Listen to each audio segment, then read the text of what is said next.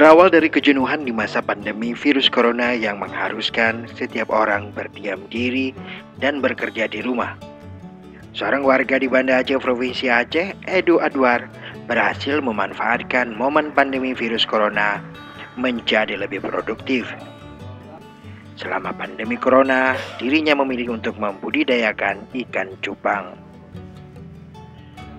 Di rumah sederhana yang terletak di kawasan Blang Oe, kota Banda Aceh ini, dirinya memulai usaha membudidayakan ikan cupang.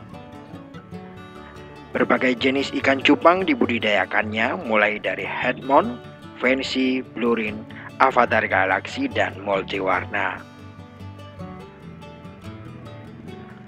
Awalnya Edo mengaku kehilangan job sebagai fotografer wedding, dampak dari pandemi COVID-19 membuatnya bingung Melihat ada peluang karena permintaan ikan cupang tinggi di Aceh, dirinya pun berinisiatif untuk mencoba-coba membudidayakan ikan cupang. Menurut Edo, membudidaya ikan cupang tidaklah sulit karena jenis ikan ini terbilang ikan yang sangat bandel atau ikan yang tidak mudah mati. Sedangkan untuk pembenihan ikan ini pun prosesnya sangat mudah hanya butuh waktu satu hingga dua minggu untuk ikan-ikan dikawinkan. Ikan cupang yang dibudidayakannya Edo dipasarkan melalui media sosial Instagram Rumoh Beta Cupang. Harganya pun bervariasi mulai dari Rp25.000 hingga Rp2.500.000 rupiah. Dari hasil budidaya ikan mungil yang penuh warna-warni ini, Kini Edo mampu meraup keuntungan 5 juta rupiah setiap bulannya. Jadi awalnya karena pandemi, selama pandemi suntuk di rumah, uh, selama ini kan work from home ya, WFH itu, jadi bikin agak sedikit mumet kepala, jadi mikir-mikir apa yang bisa dibuat di rumah gitu, selain bersih-bersih rumah, main sama anak apa gitu, ada kegiatan-kegiatan yang kosong waktunya. Ya terakhir terpikir lihat-lihat oh udah ikan cupang yang lagi heboh. Terus kita mulai coba beli yang murah-murah tes.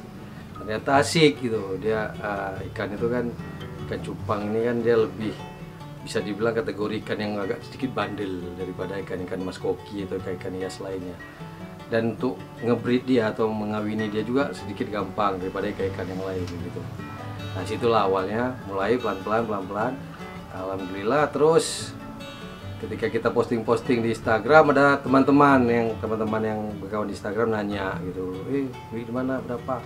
Coba jual. Eh tertarik. Alhamdulillah sekarang kita udah main banyak ikan. Ada yang dari luar Aceh juga. Kita ya beli di sana. Juga ada yang hasil breed kita gitu jenis-jenis apa aja pun yang kita ternak yang ada di sini semuanya jenis ada. Jadi dari half moon fancy plakat itu ada semua. Dan jenis macam-macam warna kan. Seperti ada avatar blue kita juga punya. Terus yang multi nemo gitu ya. Alhamdulillah semuanya ada. Jadi kalau orang mau datang lihat-lihat kemari yang tertarik. Karena beda orang itu beda mindset biasanya kayak awal-awal saya dulu tuh saya suka ikan yang harus besar-besar jenis giant gitu Nah terakhir-terakhir kok yang kecil-kecil lebih lucu yang fancy-fancy gitu.